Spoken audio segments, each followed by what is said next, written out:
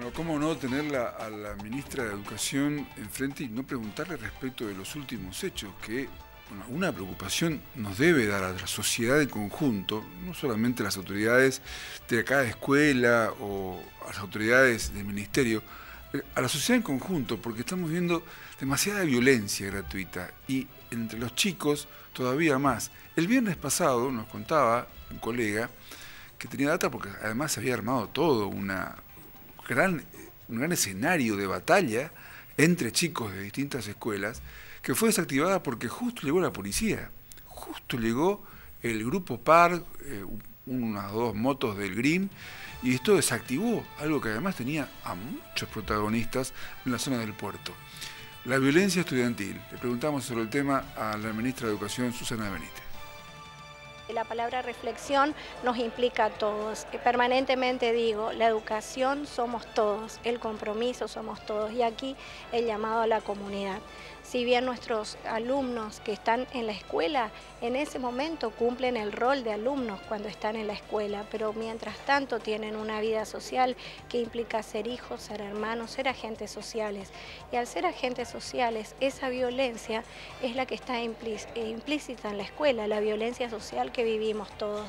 Por eso la reflexión es pedirle a toda la comunidad, a todos los correntinos, que trabajemos para erradicar la violencia de nuestros niños, de nuestros jóvenes, a los padres que tengan mayor compromiso, a los docentes mayor compromiso, mayor formación. Seguramente que así los tenemos, pero debemos y tenemos que tener más. Tenemos que ponernos a pensar y a mirarnos entre nosotros y a contenernos entre nosotros, porque estos hechos de violencia que nuestros jóvenes reflejan son reflejo de una sociedad y reflejo de la violencia que los adultos muchas veces tenemos implícitas o explícitas y que no queremos asumir. Entonces miramos en los jóvenes, pero los jóvenes nos están pidiendo límites, por lo cual a toda la comunidad correntina les quiero pedir que más allá del trabajo que hacemos desde el Ministerio de Educación en las escuelas, con los docentes, con los directivos, con los equipos interdisciplinarios, no podemos los demás depositar solamente en las escuelas la responsabilidad. La responsabilidad es de todos,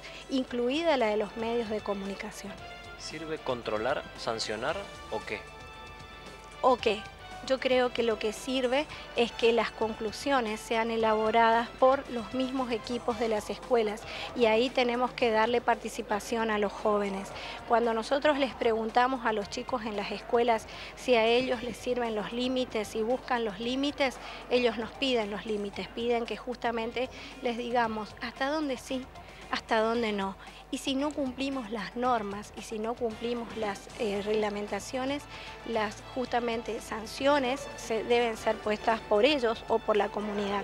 Pero lo importante es que entendamos de que el compromiso comienza en una reflexión, desde el por qué nos comportamos de esa manera, cuáles son las normas que no cumplimos y cuáles, cuáles deberían ser justamente aquellas medidas que debemos tomar cuando las normas no son cumplidas.